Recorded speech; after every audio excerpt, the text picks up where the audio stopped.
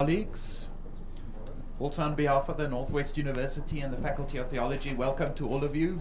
It's a pleasure to receive all of you here in conjunction with the seminary, theological school, and uh, it is our prayer as well that this will be an event that will build all of us up in our faith and our service to the Lord in His church and His kingdom. Also, welcome to colleagues who might follow the live streaming. Wherever that you may be, uh, we appreciate your being part of these, this event in this manner. It is my pleasure, colleagues, to introduce Professor Gijsbert van den Brink this morning. He's our keynote speaker for the day, and uh, I want to thank him in, in advance for his willingness to travel to our conference and to address us this morning, to be part of our conference and to interact with the colleagues. Great appreciation, Gijsbert. Uh, Professor van den Brink holds the University Research Chair for Theology and Science at the Faculty of Theology the, at the FIE. Re his research is mainly focused on the interface of Christian faith and the natural sciences, but he also participates in wider debates on the relationship between science and religion. His current research is concentrated on two projects the way in which evolutionary theory coheres with classical theistic beliefs, and secondly, the nature and future of theology as an academic discipline. And that is what he will be addressing this morning as well. This first project uh, issues in his Reformed Theology and Evolutionary Theory, publication from Grand Rapids for uh, uh, planned for 2020. Uh, precursor of what appeared in Dutch already in 2017, and the output of the second project is mainly in the form of scholarly papers and contributions to conferences like this very one. Apart from what I've said already, Professor van den Brink is head of the Department of Beliefs and Practices, spending approximately half of his time doing administration. I can relate. Colleagues, please a hand for Professor van den Brink. Welcome, Gijsbert. We look forward to listening to you.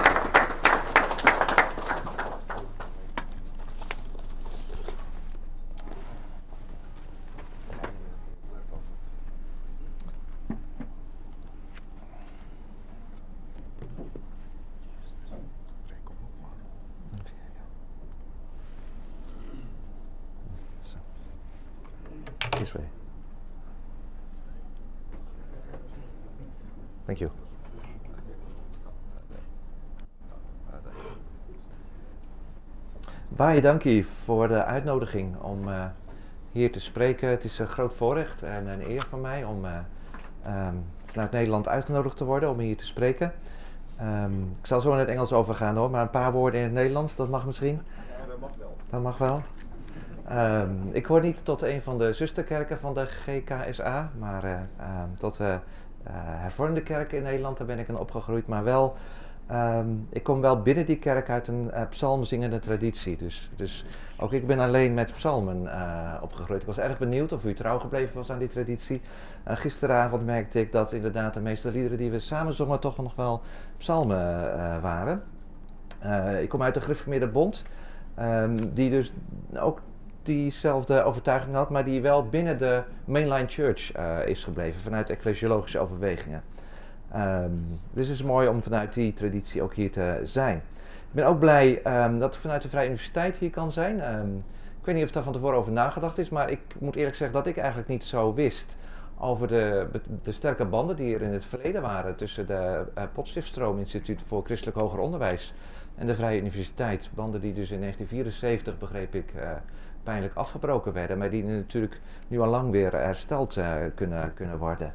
Um, dus ofwel, um, het is een mooie speling van de geschiedenis, ofwel iemand heeft erover nagedacht dat hier nu weer iemand van de Vrije Universiteit juist op uw jubileumcongres kan, uh, kan spreken.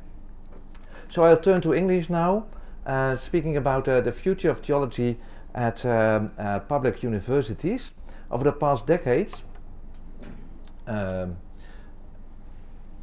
yeah, over the past decades we have seen a double movement in the development of academic theological education in um, uh, Western Europe, especially. I'm speaking of Western Europe, especially. On the one hand, theological faculties at state universities gra gradually turned into departments of religious studies. Although the uh, study of theology had been largely based on an objective third person's perspective for a long time already, uh, this was not enough to prevent uh, theology from being banned from many universities. Sometimes the academic quality and viability of the traditional theological faculty uh, was mentioned as a reason to close it down. In other cases, relationships between the secular university um, and representatives of uh, a specific church became strained to such a degree uh, that further cooperation was no longer possible. And in yet another situation, the theological faculty simply had become too small to survive. For all such reasons, um, the universities of Amsterdam, Utrecht, I, I, myself studied at Utrecht University, but you can no longer go there to study theology if you want to become a minister uh, at least. So uh, uh, uh Utrecht is an example uh, of a theological faculty that turned itself into, transformed itself into a department of religious studies, just like Leiden, which, which just had become too small to, to, to continue. Um, so in all these cases, these have become small departments of religious studies within broader faculties of, of humanities. Uh, and these uh, universities no longer offer undergraduate programs uh, that prepare for the training for the ministry. On the other hand, um, theological institutions outside the traditional universities started to gain traction and sometimes increased, increased their level, bringing it up to academic standards. A clear example here is the Evangelical Theological Faculty at Louvain, which is in Belgium, the Dutch-speaking part of Belgium, in fact, um, which started as a Bible school, but is now a classical theological faculty, uh, offering BA, MA, and even PhD programs. In fact, quite some Reformed students from the Netherlands now move to Louvain, uh, especially evangelical students um, who are in the church, um, in order to follow their um, benedengraad, their, their, their voorgraad, their BA program in, uh, in Louvain. Um, and th this prepares them for the uh, master's training program for the ministry, the predikants master at the Protestant Theological University. And this PTHU is another example um, of an academic theological institution outside the traditional universities. Uh, although a, a, university of its own, it only offers uh, theolo theology programs, and it's very young. It uh, started at, uh, in 2007 as the merger of the official educational programs for the ministry of, of the Reformed and Lutheran churches.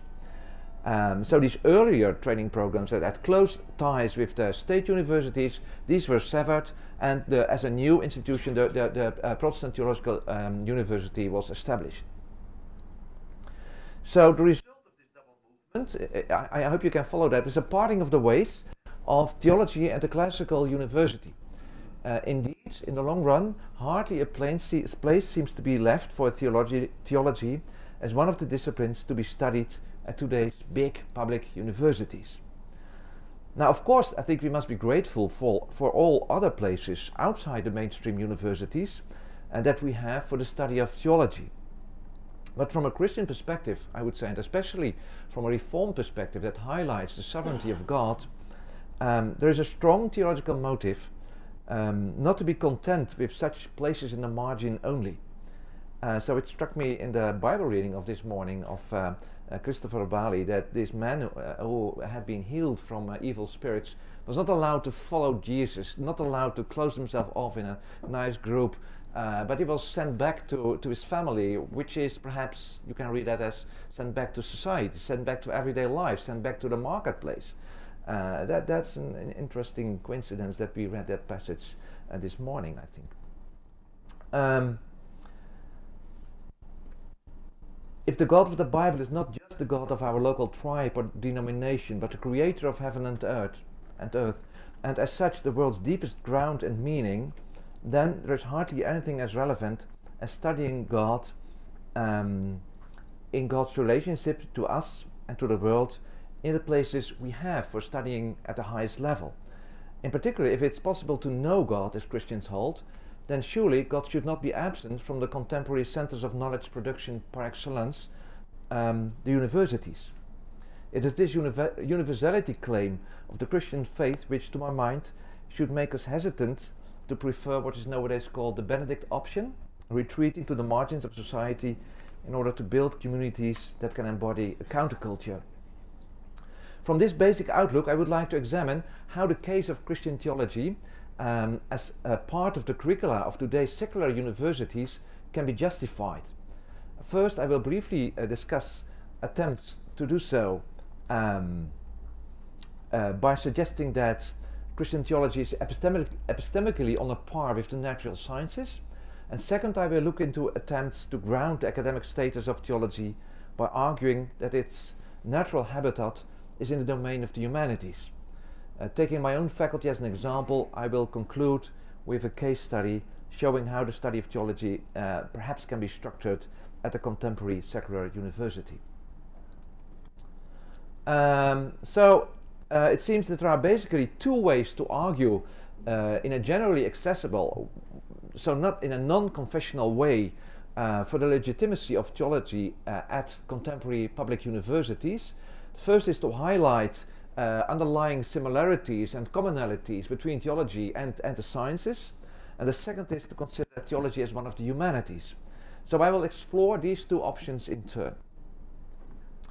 Um, especially uh, since what has been called a descriptive turn in the philosophy of science, epitomized in the work of Thomas Kuhn, uh, Professor Coase uh, brought up his name already the, the other day, it has become clear that the natural sciences are less uniform in their methods and less value free in their assumptions than had been assumed ever since the Enlightenment.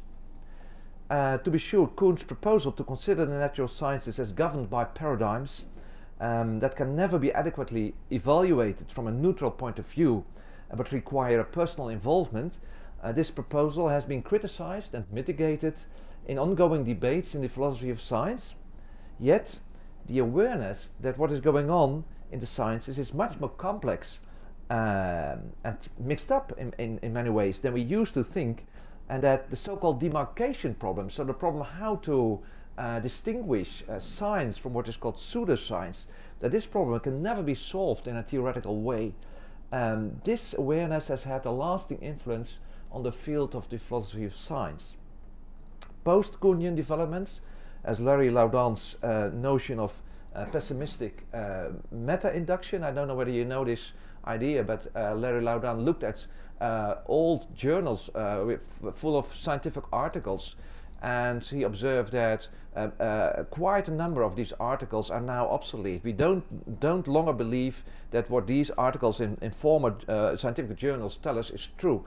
So if that's right, how big is the how great is the chance that what we write today in our uh, current scientific journals will be considered to be true uh, by the next generation. So this is the law of pessimistic, pessimistic meta-induction that perhaps science is not uh, so much on the right track as we, as we now tend to think it is. And uh, also, of course, we have postmodern voices that pointed to the often hidden but crucial roles played by personal and institutional interests in determining the course uh, the sciences take. So it's not so strange, therefore, that theologians have grasped the opportunity to reconsider the bifurcation that the Enlightenment had brought about between objective scientific rationality on the one hand and personal subjective faith on the other hand. The idea, which is visible in, for example, in Immanuel Kant's Conflict of the Faculties, and that theology slavishly obeys divine revelation, whereas philosophy follows reason wherever it, it leads, this bifurcation has become problematic in fact, the, the very concept of a universal notion of rationality uh, that is neutral and non-contextual has become obsolete. Therefore, it was natural that new and more constructive ways to account for the relationship between theology and the sciences were being explored. Indeed, during the past couple of decades, uh, we've seen a variety of such proposals uh, being um, presented. Uh, most of these proposals, especially focused on the notion of rationality. Isn't rationality a much more uh, uh, complex and uh, uh, variegated and polyphonic uh, concept than that it just coincides with natural scientific rationality? in this way, for example, scholars like Mikael Stenmark, 1995, um, ration Rationality in Science, Religion and Everyday Life, Nancey Murphy, um, she wrote Theology in an Age of Scientific Reasoning, 1990, and Wentzel, South African theologian Wentzel van Huyssteen, The Shaping of Rationality, 1999, I have revisited the notion of rationality in order to broaden its scope so as to make it encompass ways of thinking in religion and theology. Even more recently, in his latest monograph, British theologian Alister McGrath has compared the notions of rationality in the natural sciences and theology in order to suggest that there is enough overlap to consider theology as a serious academic endeavor. So McGrath's proposal is a, is a bit more uh, sophisticated in that he distinguishes multiple rationalities, uh, but still he tries to align theology to the, um, uh, to the, to the, to the academic status of the natural sciences. Now, definitely, there's uh, it's possible there's, there's to say a lot um, in favor of this procedure. First of all, it urges theology to pursue its task not in a free-floating way, but with the rigor and discipline that is characteristic for scientific research in general. Theologians should be transparent about their methods and their ways of arguing. They should be open to criticism, just like other um, uh, academic scholars, and develop their views in ways that are rational, not rational in a narrow way, uh, but in the sense of being understandable from the perspective of an informed outsider. Second, by aligning theology with the sciences, it's highlighted that theology as well has to do with questions of fact, not just questions of meaning. Has another bifurcation uh, of the Enlightenment uh, which has come under pressure. I think it can no longer be upheld. Um, if you look at classical theological questions, most of them actually, of course, have to do with uh, meaning of life, but at the same time, they are questions of fact. Uh, does human discourse about God uh, correspond to a divine reality? That is a question of fact. Uh, was the universe intended, or uh, is it a product of chance? Is it credible to believe in life after death? It's yes or no. It's a question of fact. Can moral guilt be undone? Is there something special about Jesus? Yes or no? It's a question of fact, I would think. What makes human, worth, uh, uh human life worth living? Why is there so much suffering and evil in the world? Are all questions about the factual state of affairs, about explanations for that. Um, so theology is the discipline next to philosophy that studies these factual questions and tries to answer them as best as we can. Of course, universities need not study all factual questions, not all of them are relevant, um, but it can hardly be denied that these questions um, belong to the most relevant ones we can think of. For obviously, the answers we give to such questions that I listed uh, a minute ago uh, make a huge difference to how we view the world, uh, our place in it, our future, etc.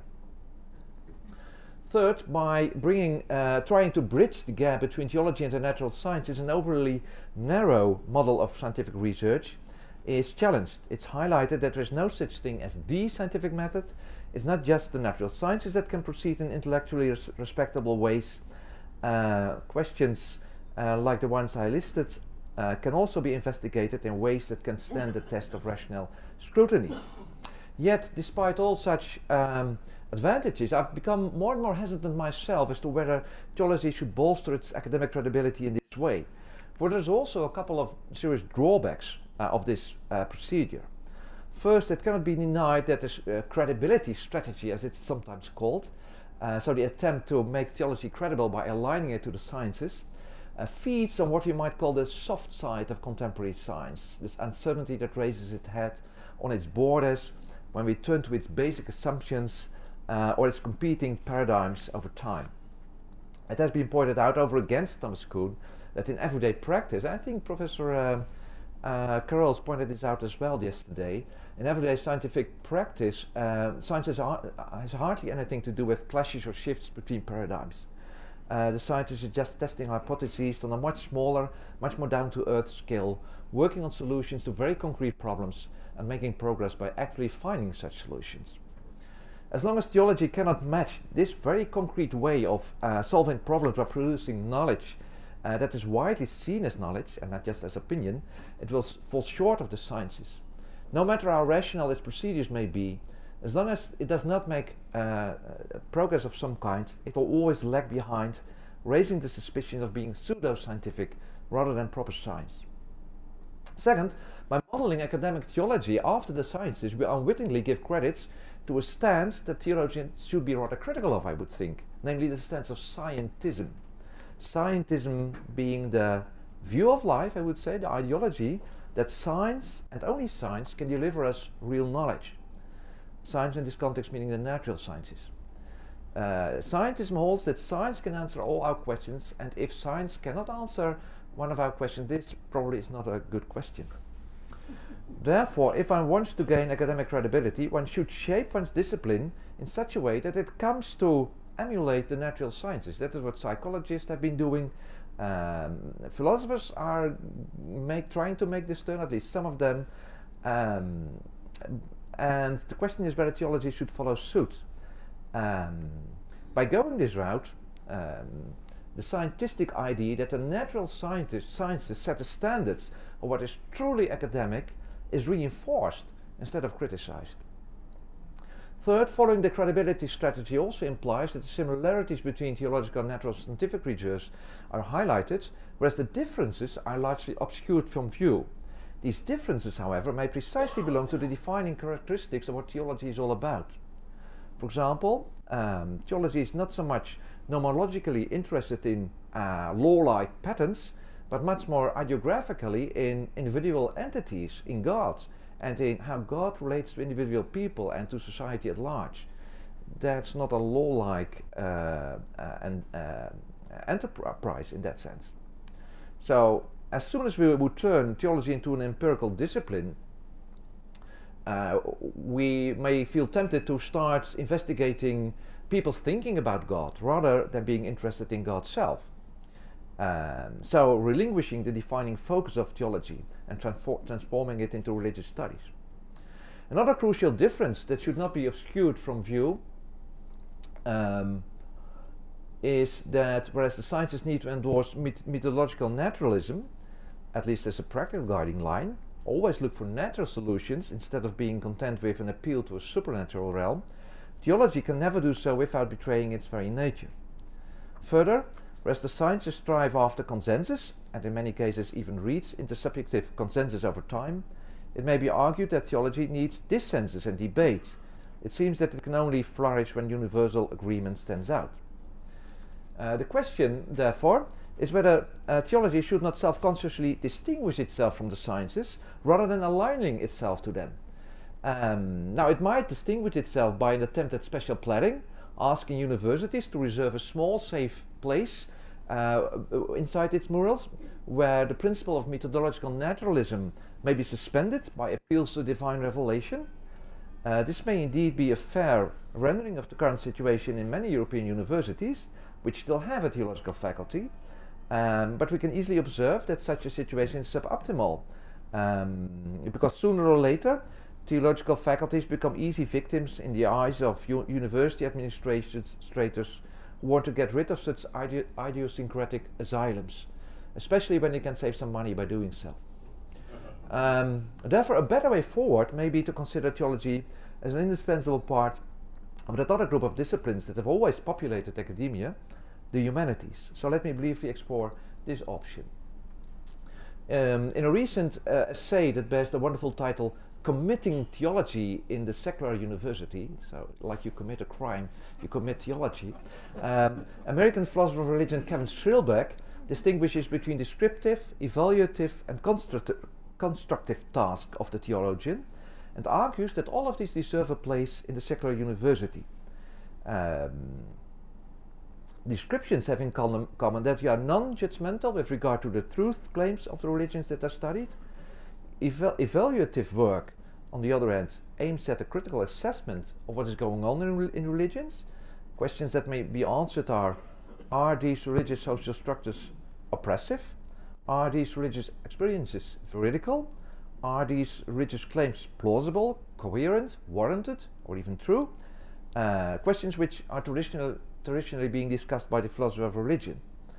Uh, these questions can be answered even when one refrains from putting on the table one's own uh, view of life. Uh, but as soon as one engages in doing that, one has moved from evaluative to constructive theology. And Schilbrack rightly points out that if one excludes such constructive theology from the table, from, from what is properly academic, many more disciplines than just theology are at risk. I quote, there is no way to exclude constructive theological thinking without simultaneously excluding a great deal of constructive thinking about ethics, metaphysics, political theory, feminist critique, colonial thought. Clearly, Schilbrack is aligning theology with the humanities here rather than with the sciences, and it seems to me that that's the right way to proceed. Um, of course, um, in the contemporary university, the place of the humanities is no longer self-evident either. Neoliberal forces uh, would rather see all of the university's resources spent to disciplines that are, that are economically useful and that train students for the workplace.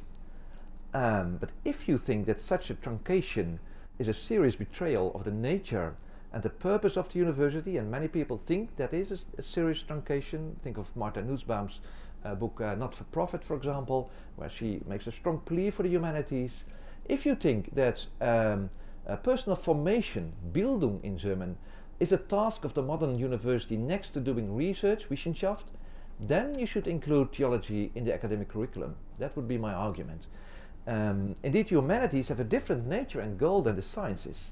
The progress they make is not so much located in the disciplines itself, but it's located in the students. It's they who can make enormous leaps in their understanding, insight, and discernment, epistemic values that are no less um, important than knowledge. One of the most significant differences between the sciences and humanities is that in the latter the inquirer's perspective is not deemed irrelevant, but is constantly being appealed to, the relevant of the student, of the person who um, engages in the discipline. Literature, history, philosophy, and other humanistic disciplines may ask big questions that will never receive uh, answers that are universally agreed upon. Um, uh, but of course, there's a great deal to learn from uh, studying such questions, and society can only profit from people who have done so in a consistent way. Uh, questions like how did the past shape us into whom we are? What can we know? What dare we hope? What is good? How to deal with evil? What, sort of, what sort of society should we prefer? Uh, what is the meaning of it all? Is there a God? Listing the questions in this way may enable us to see that the final question, is there a God, is not at all out of sync with the other ones. It would be contrived and artificial to exclude that question uh, from academic debate. Uh, of course, these questions cannot be studied in any neutral um, uh, way. Nobody can prevent his deepest commitments and assumptions from bearing heavily on one's take on these questions nor can they be studied in an isolated way. Um, I have to shut up, isn't right? Or to okay, ten minutes, okay. No. Nor can they be studied in an isolated way, as if the question whether God exists does not presuppose an entire form of life, to use Wittgenstein's term. Uh, so a complex and complete vision of the good life. Uh, so a, a, very compelling retrieval of theology as the study of the good and the flourishing life has been published just earlier this year by Miroslav Volf and um, uh, a, co, a fellow of him, Matthew Croasmun, for the life of the world, theology that makes a difference. And here they uh, elaborate um, a, a, a, view of theology as the study of the good life, of the flourishing life. And they uh, compellingly, to my mind, argue that this way of doing theology deserves a place at uh, contemporary secular uh, universities next to um, not only Christian uh, uh, theology, but next to other views of life and, and their theologians. So the best way to proceed is, to my mind, by bringing all these deep commitments in the open, making them explicit, and accounting for them as best as one can. Um, and universities might accommodate this process by appointing scholars from the most important faith traditions to study and facilitate these debates on uh, on, on the big questions, including the questions uh, about God. So that is universities are secular, should not be interpreted as that they are neutral or uh, impartial or refrain from uh, uh, allowing views of life inside their uh, murals, but it should be interpreted to my mind as um, that, that they should invite the, the, the, the, the most important views of life which are around in, in, in their societies um, to, to be studied and discussed and debated um, within um, uh, th these universities. In other words, secular universities may hire confessional theologians of various stripes uh, since they are best equipped to articulate and negotiate their faith traditions. Here I uh, part company of uh, uh, whereas Schilbrack accepts constructive theologians, he rejects confessional theologians from playing a role in the university because, in his view, they are not accountable to universal standards of rationality. So he not only sticks, sticks to this contested notion of a uniform rationality, but he also associates this notion of rationality with an atheist view of life. Of course, confessional theologians should satisfy academic demands uh, as intellectual honesty, etc., but intellectual bigotry and laziness, undue deference to authority, etc., can just as well be displayed by atheist scholars. So excluding confessional theologians from the university for this reason, I think would rather be a case of power play and identity politics than that it can be epistemically warranted. Those uh, religions and non-religious views of life that are influential in a specific society should be given a voice in the intellectual arena without discrimination. And let me, um, I should have put this on the screen earlier. I'm sorry for that.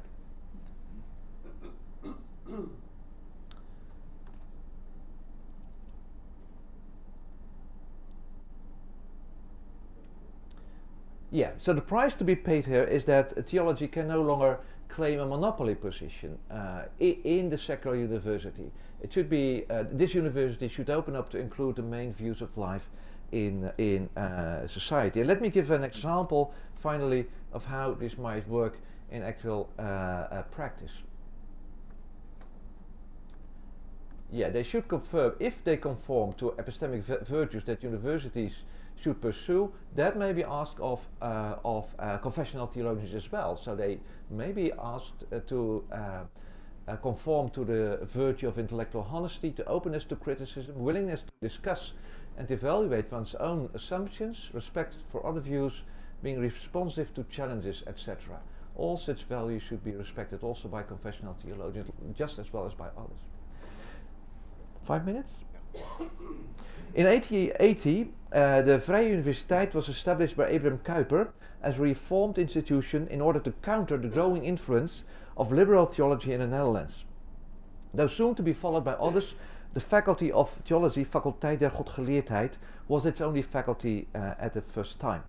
For several decades, the VU as a whole and its faculty of theology in particular remained faithful to the ideal of its founding fathers and largely succeeded in implementing it. In an ironical twist of history, however, after the Second World War, um, so even before it became state subsidized in the 70s, the VU itself gradually fell victim to liberalism and secularization. This tendency was epitomized in the work of one of uh, its most influential and iconic theologians, Harry M. Kuitert. He died just two years ago. Though the VU is still a special university, as it's called, a bijzondere uh, uh, universiteit, it's no longer a reformed or even a Christian institution. How did theology at the VU reinvent itself under these conditions? What is the future of theological training at a state-subsidized ins institution like the VU in a societal context that has become, is becoming more and more religiously plural? Unlike most other universities in the Netherlands, the Vrije Universiteit has resisted the tendency to transform its theological faculty into a department of religious studies. It has incorporated religious studies of various sorts, its curricula, but on top of that, it continues to uh, commit theology uh, in what has recently been renamed as the Faculty of Religion and Theology. Um, so it does so in a way that has gradually become more and more religiously pluralist. The faculty closely cooperates uh,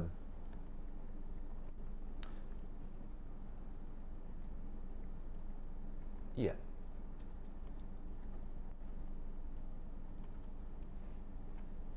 Um, with all kinds of seminaries from specific Christian denominations, for example, uh, Baptists, uh, Mennonites, Restored Reformed Church, uh, which did, not join the merger into the Protestant Church in the Netherlands, um, and also with extra Christian uh, confessions uh, and religions, Islam, Buddhist, Hindu, and Jewish. All of those are very small, but they are represented at the faculty. As a rule, 40% uh, of classes are taught by seminary personnel and 60% is taught by faculty personnel.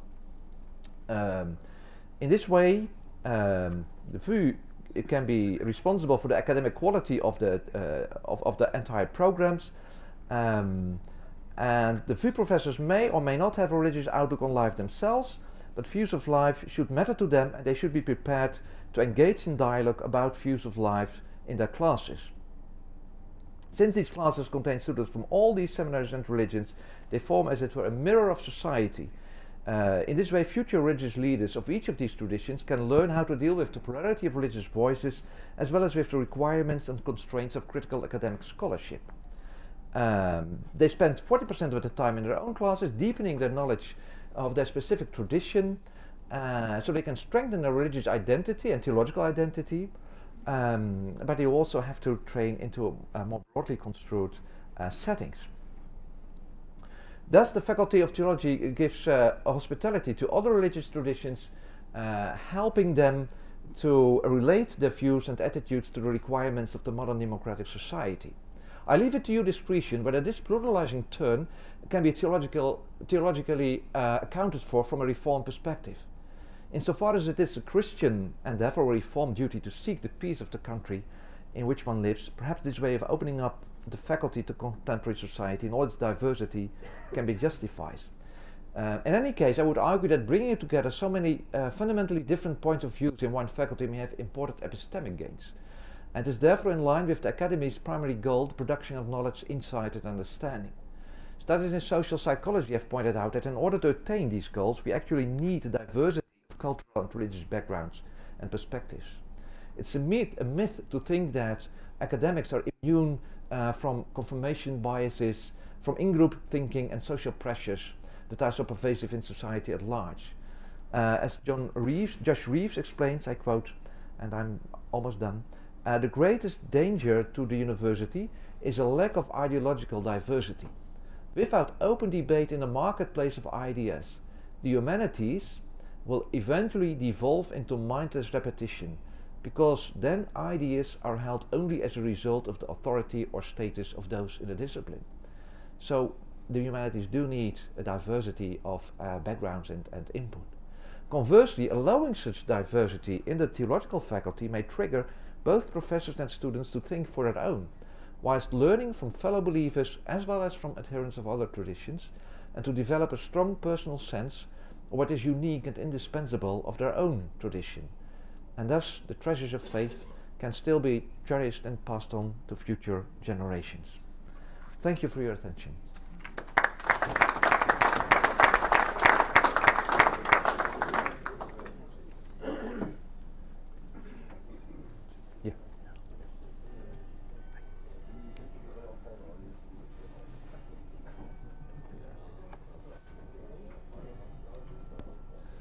Thank you, Gijsbert, for uh, thought-provoking uh, introduction to our day. Thank you very much for that. Colleagues, we're just going to make a few arrangements. We're a bit behind time.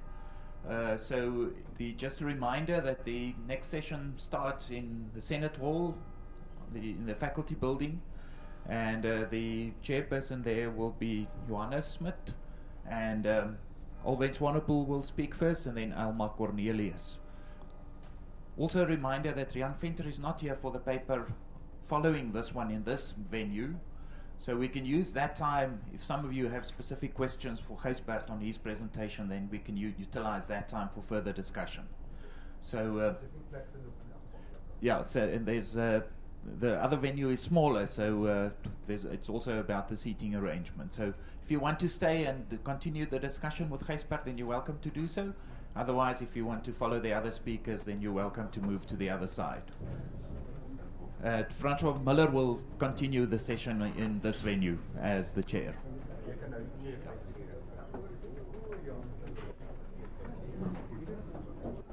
Oh, that's a nice solution. Yeah. Hmm.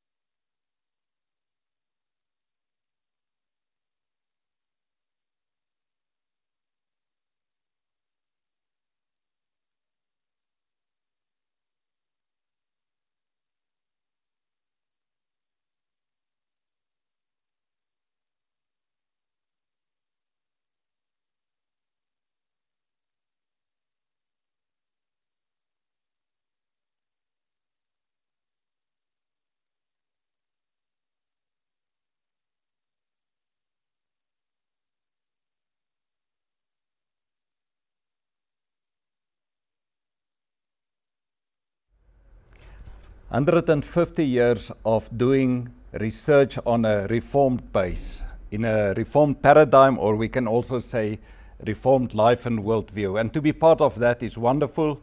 And we also want to invite you to be part of that. It is wonderful to really look at this creation and do science. And what is science about? And that's what I'm going to speak uh, at this conference, actually on Friday, about the purpose and the norms of doing science. Science is there to broaden our knowledge. To do it, we must do it in a specific way. We call it a method. We must do it according to certain criteria. And over years, we, we really work together to understand what is the criteria to base this knowledge on. We have different fields that we work in. My interests, uh, except for some of the philosophy of theology that form an important basis for the work that we are doing, uh, is uh, apologetics and ethics.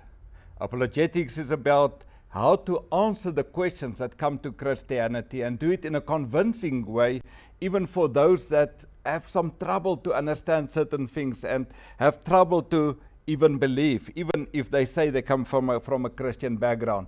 So we have wonderful discussions and work that we are doing, research that we are doing about the questions and the discussions that come from atheism, atheism, and at the, at the other side, pantheism and panentheism that means the, the more Eastern religions and philosophy.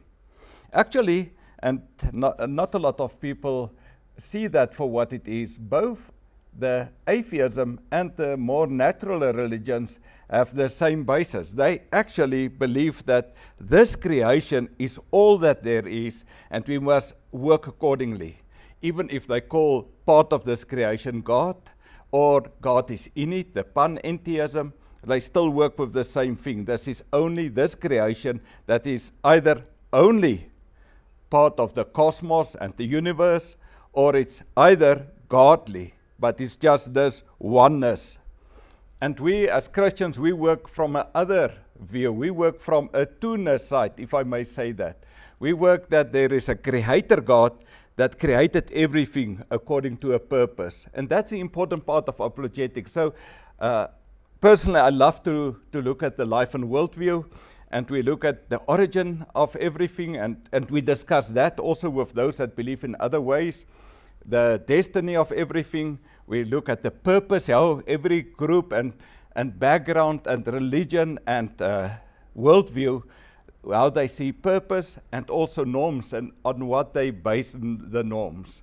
And from there, that is my other point of interest, and that is ethics. Uh, why do we all see the world in a certain way and see there's things that are wrong, things that should not be, things that people do that ought to be in another way? Because we all believe there is certain norms. But as we know, these norms can be changed, it can be uh, used in different ways. It can be based on different things. So, how do we really understand what we must base our norms on? And that's why, if you only work with this creation and there's only this creation, you have really a problem for the norms. You, you actually must say, what ought is what we find that is or you must, in a sort of a pragmatic way, look at everything and say, what, what is in it for me, or what's the use, or what will be better for society, or what will be sin against mankind. It's all different ways that people try to, to found their norms on something. But from a Christian way of looking at science, the whole spectrum of science, we know that there is a purpose in everything that God gave us His purpose, that He make us responsible. We must respond to what He said and that He's telling to us. And that's why science is really not only normative, but it's actually part of our task, our responsibility on earth.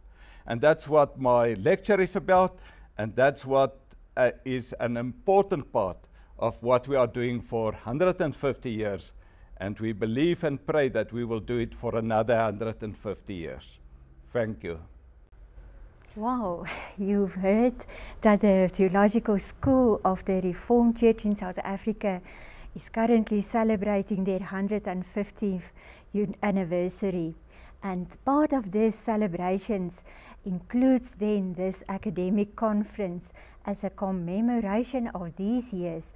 And the theme of the conference effectively offered the opportunity for us not only to look back, but also to focus on the present and future theological training. The School of Theology works in tandem with the Faculty of Theology, and I am a staff member of the subdiscipline of practical theology at our faculty. Since South Africa became a democratic state, many voices arose for the decolonization of programs presented at the university. For this reason, the North-West University also had to revise their teaching and learning strategy certain keywords that is illuminated in the revised strategy are outcomes oriented, student centered, inquiry based, active, participative, and meaningful learning in a supportive and enabling environment. In short, it boils down to the creating of meaningful teaching and learning experiences. In the past, the theological training was largely based on the instructional teaching theory, where the cognition enjoyed more emphasis than our experiences. And in my participating in the conference, I want to link to the future of theological training at state subsidized universities. And in the process, I explore certain aspects that we need to take into consideration for the contextualization of practical theological training in order to find a balance between cognition and experience.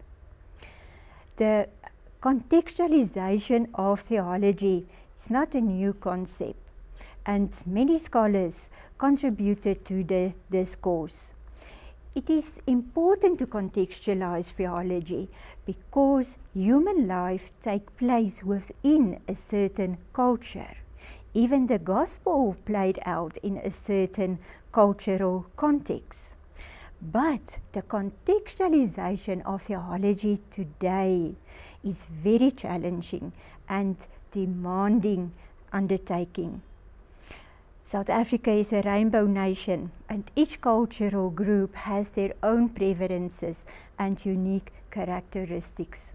Whenever a group of people are together, for instance, a group of students in a university classroom, a new culture or context originates, and knowledge and understanding of the culture or the context of those we minister to will contribute to the effective contextualization of practical theological training. I see the contextualization of practical theology more as an art where, students can learn to journey with other people from the same or other cultures. It basically means to be with the other to feel what they feel, to think what they think, and then to act in the context of our belief system. Jesus' parable in Matthew 25 is an example of a passionate being with, feeling with, thinking with, and acting with the poor and the marginalized people. The challenge for practical theological training then is the inclusion of a certain level of experiential training, where the students have the opportunity to passionately being with those they minister, have to minister with in order to find a balance between the cognition and experiences. Experiential training is not new to our time of day as Confucius in 450 before Christ already said, Tell me and I will forget. Show me and maybe I'll remember. but involve me and I will understand. South Africa is undoubtedly in a season of change.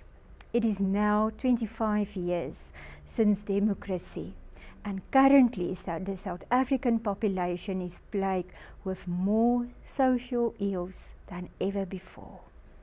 The high crime rate, unrest and the destructive violent demonstrations are but a few to mention. Unfortunately, universities are not excluded from these demonstrations and therefore education at a state subsidized university become more and more under pressure. In the past, learning was based on Kolb's module of observing, reflecting, planning and taking action to improve the status quo. But the call for South African state subsidized universities is not to improve the curriculum, but to decolonize the curriculum. In my view, one aspect of the decolonizing of the curriculum is the inclusion of experiential training. If we as lecturers of practical theological training modu modules want to stay true to our reformed roots, we have to become relevant to our context and deal with the injustice by bringing deep change through making theology practical. Thank you.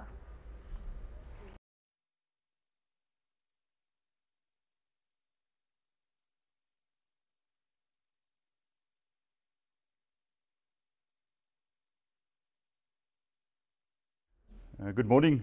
Uh, my name is Francois Miller. Uh, we are celebrating this morning um, 150 years of uh, theological training in recognition of the grace of the Lord. Uh, we are currently at the faculty of the Northeast University, Theological Faculty. Uh, this university was born from a process which amalgamated two universities amongst each other, the um, University of the Northwest and the Potchefstroom University for Christian Education. And the Faculty of Theology stems from the literary department of the Theological School uh, of the Reformed Churches that was started in 1869 in Burgersdorp, 150 years ago. Uh, this was started 10 years after the initiation of the first Reformed Church in Rustenburg in 1859. In 1904, the theological school was moved to Potchefstroom um, and since then, the um, literary department grew into a separate institution. Uh, today, these two independent institutions, the Theological School and the Faculty of the North-West University, um, has a very sound relationship. And um, on the Theological School side, we train ministers for the Reformed churches. On the faculty side, we provide uh, theological education for members of several churches and not only for formal ministry as well. Um, a lot of our programs overlap and we also share some of the facilities.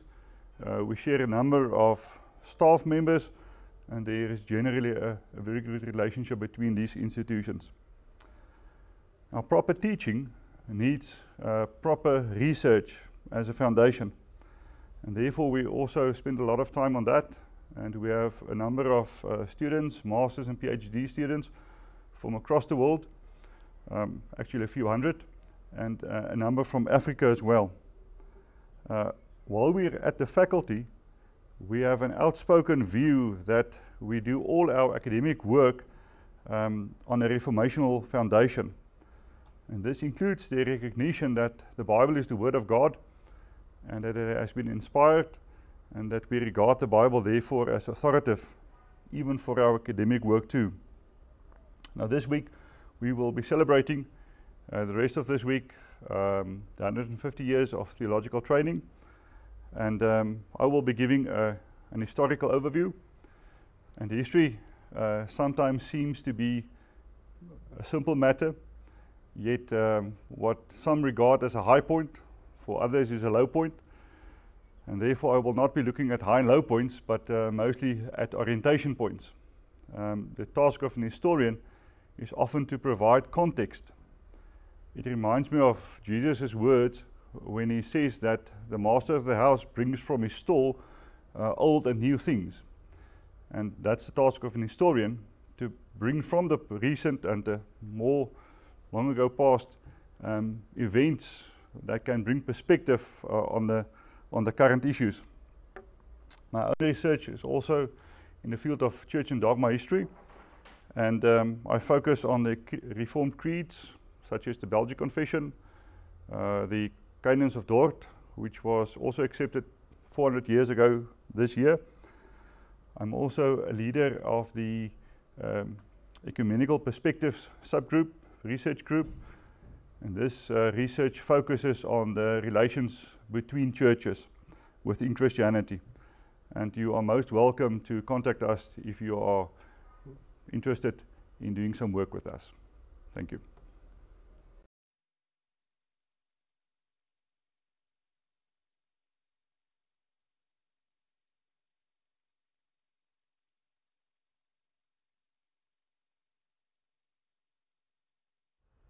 Good morning, everybody. We welcome to the Faculty of Theology, where we celebrate the 150 years of existence of the theological school. And at this conference, we'll be dealing with various aspects, but my concentration mainly will be on the topic the impact of the Reformed theology amongst the black churches. That's where I will concentrate, and especially I will look at uh, the history, what impact did uh, the Reformed theology had then, the present, and still in the future, because we believe that uh, this theology is needed everywhere. So, and then the other work that we at the Faculty of Theology that one is doing is the ancient languages. I'm teaching ancient languages, which is uh, becoming more scarce in other faculties. So if you want to study your Hebrew and its families, you are welcome to contact us. I'm also involved in the Old Testament studies. So if you want to do your furthering studies in the Old Testament, you are also welcome. Our approach is that the, the Bible is the Word of God and it's authoritative. That is our point of departure. So everything that we do, the Word of God is the foundation of what we do. Thank you.